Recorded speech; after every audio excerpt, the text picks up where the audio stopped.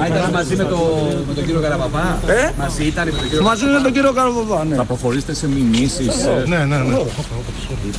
Γιατί δεν είναι άντρες. Οι άντρες κάθονται. Κάνουν ό,τι κάνουν και κάθονται. Ο Καραπαπάς έκανε, έκανε το Καραπαπά. Εντάξει. Ναι, και ο Καραπαπά ήρθε και έβριζε. Και δεν ήρθε πιο μέσα γιατί με κρατήσανε. Δυστυχώς οι, προ, οι προκλήσεις συνεχίστηκαν σήμερα μετά τη λεωφόρο. Σήμερα ζήσαμε απίστευτα πράγματα κάτω. Δεχτήκαμε επίθεση. Ε, ντρέπομαι δηλαδή και αισθάνομαι και άσχημα που εκθέτω τον εαυτό μου σε, τέτοια, σε τέτοιες δηλώσεις. Αλλά καλά, ε, καθιβριστήκαμε σε σημείο απίστευτο, μπορείτε να φανταστείτε όλοι τι υπόθηκε.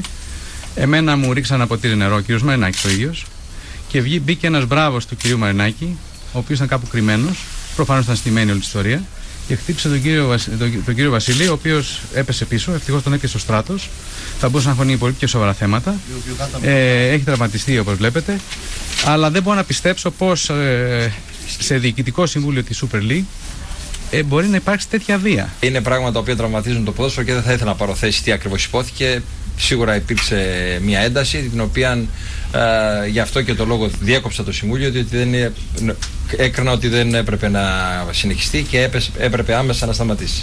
Καταρχήν είναι- δεν είναι ωραίο πράγμα αυτό που έγινε. Εντάξει, δεν ήταν και τίποτα το σοβαρό, αλλά πιστεύω ότι ο κύριος ο Κωνσταντίνου εντάξει, δεν χρειάζεται να.